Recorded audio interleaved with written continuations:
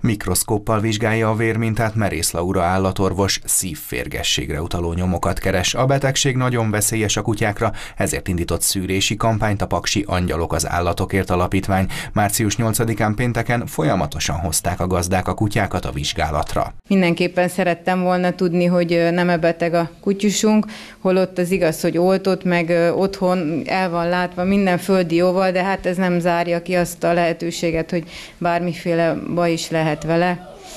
Erdő mellett lakunk, úgyhogy van kullancs is bőven, úgyhogy én ezért éltem ezzel a lehetőséggel. A mikroszkóp alatti teszt nem mutatott ki szívférgességet, az akcióban két napon keresztül sok gazda bizonyosodhatott meg kedvence egészségéről. Ha valamely kutya nem ilyen szerencsés, és a fertőzöttséget a több lépcsős szűrés kimutatja, mi hamarabb meg kell kezdeni a kezelést az állatorvos szerint. Többféle gyógykezelős létezik erre. Kistestű kutyáknál van olyan, hogy katéteren keresztül eltávolítják ezeket a férgeket.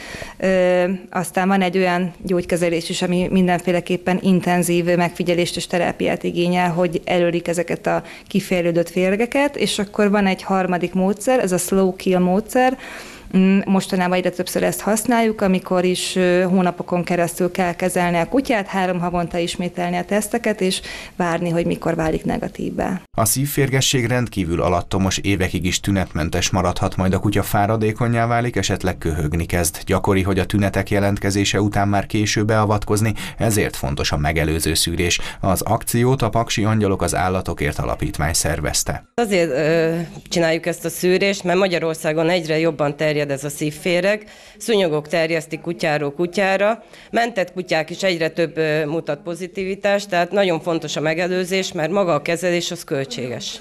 Tehát az alapítványnak is, hogyha bekerül egy olyan kutya, ami pozitív, nagyon nagy kiadás jelent.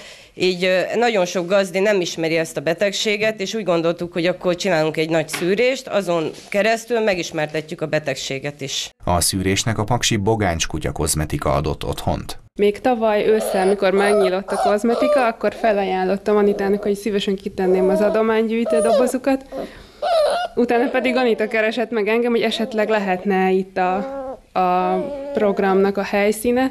Én pedig nagyon örülök neki, mert imádom a kutyákat, és szeretném, hogyha minél több kutya biztonságban lenne. A mostani akciót Paks önkormányzata támogatta, a szívféreg szűrés március 22-én és 23-án folytatódik.